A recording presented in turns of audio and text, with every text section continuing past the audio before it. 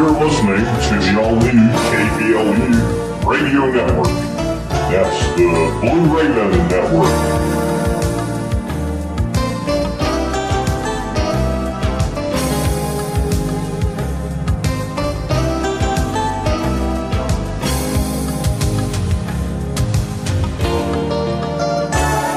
often duplicated, but never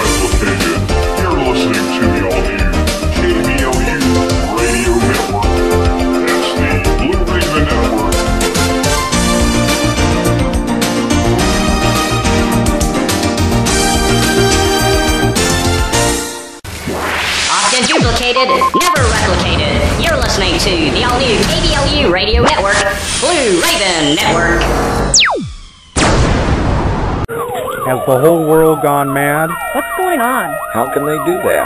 Can Christians have demons? Why are politicians so detached? Need answers to these questions? You'll find it here, scotthensler.org, where you will hear the facts. When it comes to the biblical truth, the whole truth, and nothing but the truth, so help me God, about what's really going on in America and the rest of the world. scotthensler.org reveals what the churches in America failed to tell you about the true spirit realm concerning demonic activity, mental illness, and even the basis of hardcore evil that is sweeping mankind.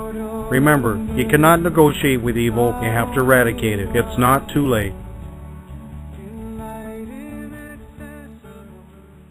That's right, as I said before, if you're drawing breath, if you've got blood flowing through your veins, you're walking, you're conscious, it is not too late even if you were to, let's say, flatline and you're being drawn to the light, don't go to the light. Call out to the Lord Jesus Christ, your Lord and Savior, the Son of the Most High God.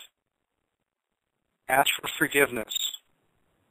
Repent and come back and serve the Most High. I'm your host, Scott Hensler on scotthensler.org using Blog Talk Radio.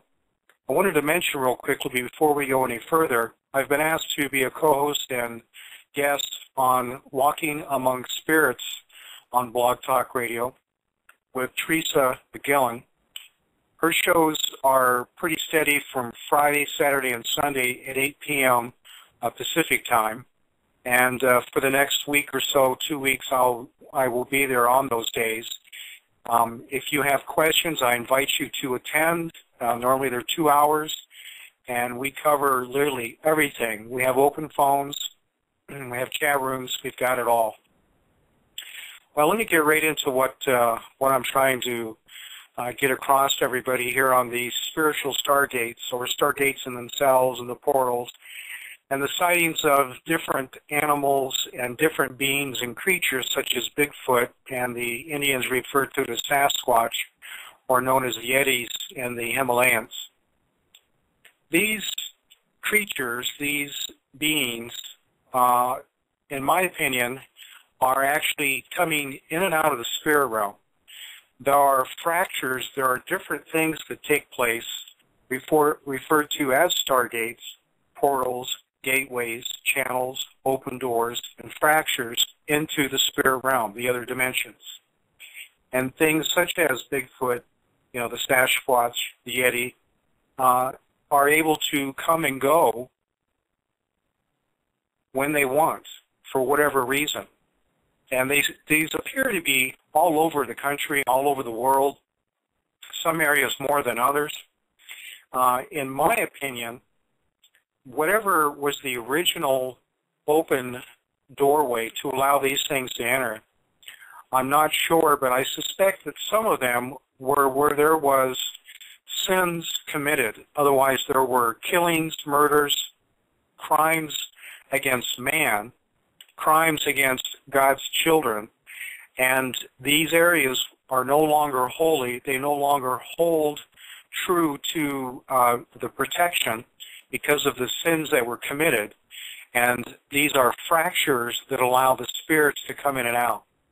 Now, whether they're demons, whether they're hybrids, whether they're, you know, the smelly, stinky animals known as Bigfoot that let out a terrible shrill and that are very large in size, most likely have something to do with the Nephilim breed and possibly even the experiment that has taken place, such as in the 40s and 50s, with opening portals and gateways, that these may actually be hybrids.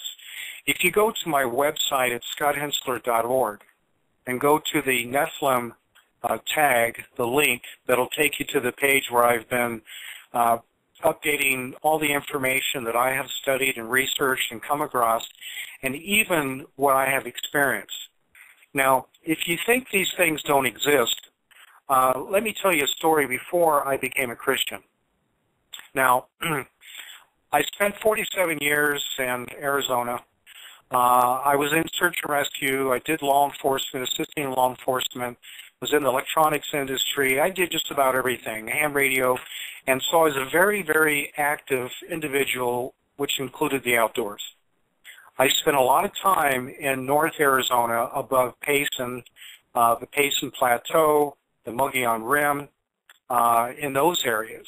And there's a phenomenon that has been taking place, probably became more known at the turn of the century as the Mogollon Monster up in the Tonto Creek area, Tonto Plateau, uh, the rim itself, and those who are listening from Arizona know the area well. Well, I frequent that area quite a bit. Now, the rim trail that runs east to west along the Mogollon has several offshoots, and one of them that I enjoyed going to was at Washington Park, which was north of Houston Mesa. The east uh, eastern section of uh, Tonto Creek, I believe it is, or yeah, Tonto Creek, comes from that. There's a penstock that comes down over the top, down from Blue Ridge Reservoir, and there's some beautiful trails up there. Well, I've had two instances uh, defined where I believe that I had actually encountered that. Uh, when I was going to uh, attending the Boy Scouts, we would go up there, and I used to hear all the different, um, you know, local legends and so forth about Bigfoot, and even saw some of the uh, clay um, clay forms that they poured into the footprints to to you know capture those. Now, the trail that I used to go up above Houston Mesa there at Washington Park, there was this 50-foot stretch. Now, this was before I was a Christian. There was this 50-foot stretch when when I would enter into it, it was like a wall, and I would cross over, and I could literally feel the temperature drop many degrees. How many, I don't know. There was an airiness about it. There was a still and a quietness about it. As I would continue up the trail and come out at the other end uh, of this particular, you know, we'll call it a box that was 50 foot. So as I would come out of it, then then the temperature would rise again. You know, then I could hear the birds and the and the air blowing and everything else. It was very strange. Well, that area was also a uh, very active area for Indian issues with homesteaders, and there was a lot of uh, killing, uh, pillaging, and General Crook was brought in with his soldiers. Uh, they went up to the Verde Valley, I believe it was, uh, or Fort Verde, and established a uh, post there that to take care of this. And there was a battle in that area called the Battle of the Big Dry Wash and there were several uh, Indians, several Indians killed. In fact, they, there was enough to take care of the situation. But my point is that blood was spilt in that area, and I believe that that's what had caused that to have the portals, the stargates, whatever you want to refer to them.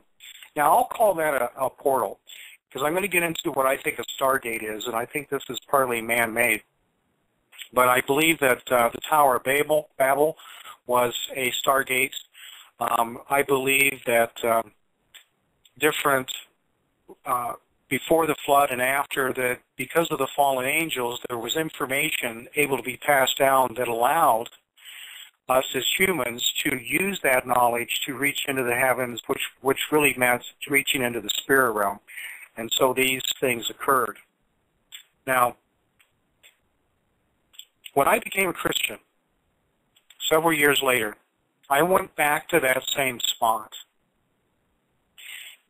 and tried to reenact, which had happened many times to me with going into this box on the trail where the temperature would drop like I was going into another dimension. Once I became a Christian, I was no longer affected by this. It no longer had the same effect on me. Um, and I noticed that the trail eventually, for some reason, wasn't uh, used as much and then faded away. Now, that particular spot, of course, is still there, but the trail seems to have moved away from it. Kind of strange. But about a year and a half ago, I went up there camping. And I always take a firearm with me. I believe in, in uh, firearms, the right to carry, right for concealed weapons, Second Amendment. Especially if you're going to be up there where there are mountain lions and bears um, of that type. And knowing that Sasquatch was very active up there.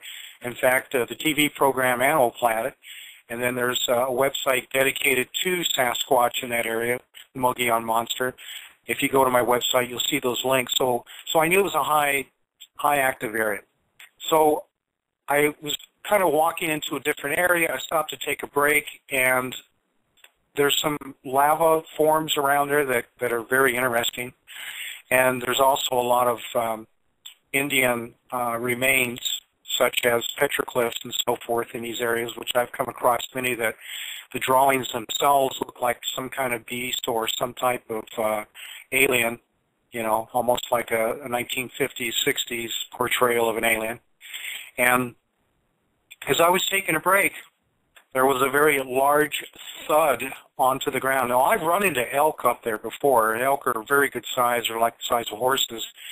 But, I mean, this really shook the ground and a boulder probably somewhere between 9 to 12 inches in diameter uh, literally was kicked off of a ledge that wasn't too far from me and rolled my way. Now, even if it was an elk, an elk isn't going to be able to kick something that large that distance. Whatever it was, uh, I believe that it was not a normal animal such as an elk. I believe it was something else. And what it was, I don't know, because I immediately drew my weapon. And I believe that these things are very intelligent, very smart, with keen eyesight and agility and speed, that it knew that I had that weapon, and then, uh, uh, you know, went back and got away. So I went back to camp uh, where I was, you know, parked and so forth, and you know, there was no incident after that, but um, that was a very startling situation. Now, being a Christian, being someone who believes in the Most High God and that Jesus Christ is my Lord and Savior and that on the cross He paid for my sins gives me the strength and the ability and the power to stand against the wiles of the enemy. And if that creature had come at me, or whatever it was, it could have just been a spirit, I don't know, but um, it definitely was there, that would I have used my weapon? I don't know. But I would have said, in the name of Jesus Christ, I rebuke you. You will not harm me. You will not hurt me. I cancel your assignment. I send you back to hell where you came from. In the name of Jesus Christ, I would have stood against it. And I suggest that if you come across this same situation, whether it's a UFO abduction or any of the other circumstances, that that is the stance that you would take to be in Christ. Now, now, um, Nephilim, Nephilim, hybrids. Uh, if you go into my website again at Nephilim for the tag, you'll see that there's been a lot of experiments uh, that have been performed, especially since the 30s and 40s on up, that have been using the DNA of the giants at the grave sites that they found. Uh, and I believe that there was a cooperation with the fallen angels that our government, Chinese, even the Nazis, who originally, by the way, um, Hitler himself was a Luciferian uh, worshiper and called upon Satan for what he had done. It's one of the reasons he specifically attacked the Jews. Of course, he, his plan was to kill all anyways, a eugenics type situation. And so now we're dealing with entities that normally wouldn't have been here, but as Revelation and different parts of scriptures, you know, as far as um, Genesis 6 describing Noah, it will be as in the days of Noah. And Revelation with the apocalypse and the things that take place, that things will, will be released. Now, as I've studied more into this, I've discovered that man himself, such as the Nazis, the Luciferians, uh, the occultists, um, the Freemasons, the Illuminatis, have been all along working at a super soldier type program. Uh, there's lots of documents out there like that. Some of this may be uh, affiliated with what I experienced and what other people were seeing. Um, some of the things that people do say they're referred to as shape shifters, shadow people, Mothman, along with the reptilian type, half man, half half uh, animal, and they have uh, the ability to kill and eat. Uh, they kill livestock. Uh, there's been a phenomenon taking place along Arizona and California areas where uh, ranchers have lost goats and sheep, have seen creatures actually take them down. Uh, there's a lot of documentation on that. I may do a whole other show on it. It's a, it's a different thing, but the point of it is, is that as we approach these times, and as it, as as it's been said, it will be as in the days of Noah, and that the days will be shortened, because if not, there would be no flesh left for Christ for Christ to return. Uh, that's some pretty serious words coming from Jesus Christ, coming from Scripture, coming from Paul, coming from the apostles that knew far more than we do, that we're very blessed to have spent time with Jesus, to have learned these things. Now, getting to um, to what man is doing. Okay, in their quest to control, and these people are demonized, that are Luciferians, that are Illuminati. They think that they are the illuminated ones, that they're able to have abilities and powers beyond the normal human. And what they do have has been given to them through the spirit realm, through fallen angels. Now, again, nobody gets away with anything that's going to sin against God. So even those people, even though these people have been deceived and are performing and doing these dastard deeds, which is an abomination, just like uh, described in the book of Enoch prior to the flood and, and even after, that these do not have human spirits. These are not given the spirit, when I say human, spirit given by God, uh, because in the womb, at the point of conception, regardless of what the abortionist, what these eugenics type individuals who think it's okay to kill a child, uh, you've got a reckoning to deal with, and it is going to be extremely, extremely serious. And I, uh, I, I uh, would rather be at the feet of Jesus than sifted by Satan. And that's exactly what's going to happen to those who are not in Christ when judgment falls. Now, Tesla was a, a very uh, incredible scientist who had knowledge of electrical theory, physics that was way beyond his time of the turn of the century on through the you know 20s, 30s, and 40s. And this information, most likely, why he had it, you know, I, I don't I don't know that much about his personal. I know that he suffered in the last days. He was pretty much a hermit. Uh, he may have been getting these things spiritually. Um, I would venture to guess because the fact of the knowledge was so intense, so incredible, so specific that really man himself is not going to be able to come up with it. But since I don't know, I don't want to make a statement. He could have been a wonderful man. He was trying to better things. He was trying to better the world through uh, free power uh, instead of Edison, who wanted to, you know, to, to contain it and charge everybody for it. So I believe that his heart was in the right place. But of course, when anything has military potential, it can be stolen, taken, uh, the people who have invented it can be killed for it, and I believe that's exactly what happened with his technology. Now, the Tesla coil is one of the main things that everybody thinks of when they think of Tesla. Well, that has led to the Philadelphia experiment, Manhattan Project, uh, like the USS Eldridge that they actually made disappear. And one movie was described where when it did reappear, that the molecules had shifted so much that even the men that were on the ship sometimes were stuck in the hull itself. Um, I believe that this did take place. I believed that through that Tesla coil, they actually energized and opened up a Stargate. And the cases that I've been hearing recently uh, in the past years is that the uh, the particle generator accelerators are basically doing the same thing, and that this whole science thing that they tell us that you're, you know, trying to split the atom for for science experiments, I believe, are actually institutionalizing stargates, or at least experimenting with it. And there have been reports where beings have come in and out of these things. Uh, again, the Illuminati has been in bed with Hollywood for years, and that uh, a lot of the movies that we have seen have been just that. What has been done, what is being done, is being told to the public a little bit at a time, plus with dis- disinformation to run us down rabbit trails so we're not, you know, we don't figure things out right away.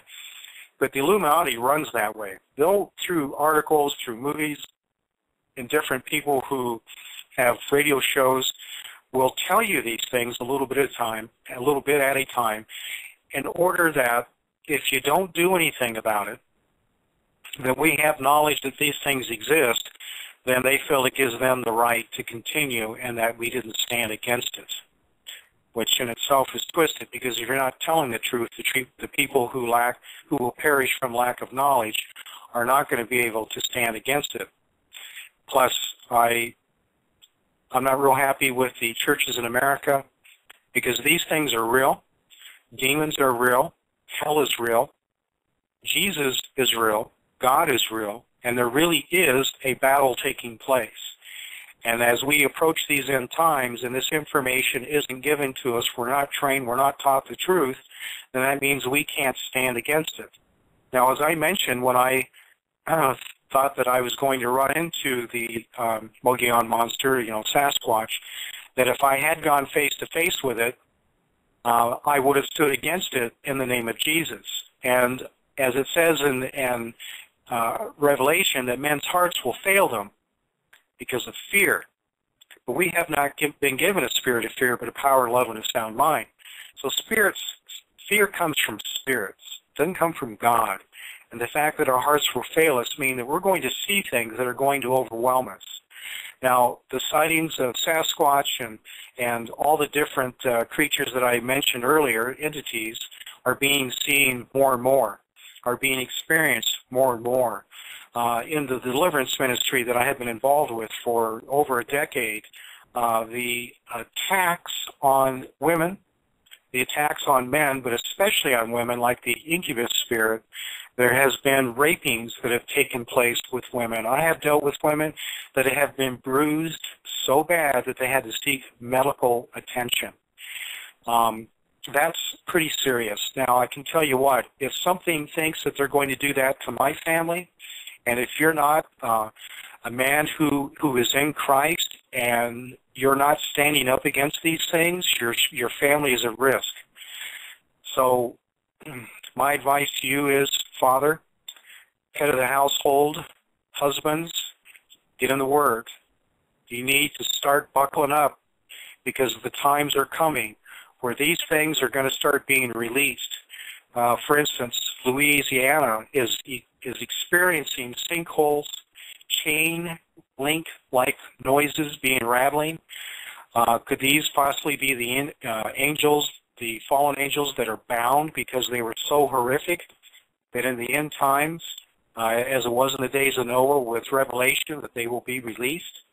Uh, we've got the Mandarin Fault Line where uh, seismic activity, earthquakes, and different things are happening where the earth could open up. And Scripture is very plain that, that the demons and angels, not all the demons, but they uh, were bound in the earth. And with the earth opening up, we're going to see more of this with man fooling around with Tesla coils and Manhattan projects and accelerate, you know, the, the, the projects for for uh, the acceleration of atoms, we're going to see more of this.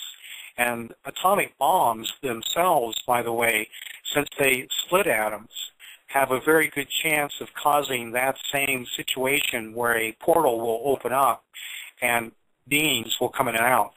Now, I don't know if you've ever seen the movie Hellboy, but that was a Nazi experiment usually using Philadelphia type uh, experiments with Tesla information where when they opened it up, a demon came through and one of the scientists raised the demon, which they named Hellboy. And that's what was basically the movie. And they were portraying that he was a good guy, but you notice if you see it, they sawed his horns off and he had super strength and abilities that nobody else had and so forth. Well, you know, again, with the experiments that have been taking place with uh, secret government uh, cooperations, as you will see on my website under the Nephilim tab, that these things do take place. They are happening. Uh, we are getting to a time where these things are going to be released more. There's been sightings of the black-eyed children, which are basically hybrids. They're now teenagers. Um, just get ready. The reason that I wanted to do this uh, blog talk cast is the very fact of being ready, because this this is not a time to look the other way. This is not a time to be still in your slumber. This is going to involve you, your spouse, your children, your friends. This is going to be hell on earth. When it says, as in the days of Noah, we need to take that serious. Because as it was in the days of Noah, the giants, the Nephilim, the Nephilim, there were mass slaughters, killings, fallen angels raping human women, causing them to have children. And now, this DNA that the Illuminati has recovered from the different grave sites have now regenerated hybrids. And Jubilees is very, very plain, uh, the book of Jubilees, stating that the spirits of the Nephilim will re-inhabit the new. So now we're going to have these horrible monsters coming back. And I'll tell you what, um, I would rather be in the Word. I would rather be free of demons, uh, to go through deliverance, to repent, to be clean, cleansed, to be healed, and to be ready, and have the authority to stand in the name of Jesus Christ against these things, especially for my family, especially for spouses and those that I would that I love dear, dearly. So, now real quickly before I go too far here, before we end, there's a TV show that is quite entertaining called Grimm, G-R-I-M-M. Um, being in the deliverance ministry, I find it amusing to watch it. Uh, it's, it's actually done quite well. But if you haven't seen it, it takes place in Portland where, the, where people aren't as they seem to be. Uh, it's the same thing with demonic entities where these things can manifest into different creatures, which basically demons are. They're everything from animal spirits to actually uh, siren spirits. Um, I talked about that earlier, and then I'll go into the, more depth about that. But in this program, where when someone's walking, uh, somebody, a character that is supposedly a Grimm, has the ability to discern and know that these things are really not human beings. And their bloodline of Grimm has a quest of eliminating them. But the way that they show the portraying of manifestation and the different creatures, somebody in Hollywood knows what they're doing, has seen this, has experienced it. I see this in the spirit realm all the time. It does not surprise me. And again, and again, the Illuminati is very good about letting us know what's coming. So I'll tell you what, you better buckle up. You better get ready. Jesus Christ, you will not get to God unless you come through Christ. No one comes to the Father except through Jesus. He's our Lord and Savior. Father, I thank you for this opportunity to speak to these people and give them the dreams and visions necessary with words of knowledge to know exactly what they're to do in the end times. God bless. You're listening to the all-new KBLU Radio Network. That's the Blue Raven Network.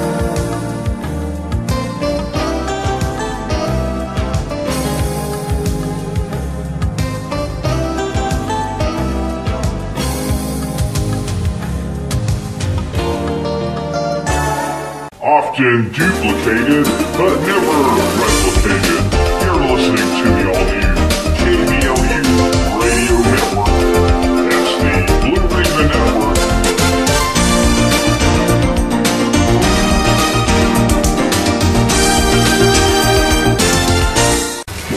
Often duplicated, never replicated. You're listening to the all-new KBLU radio network, Blue Raven Network.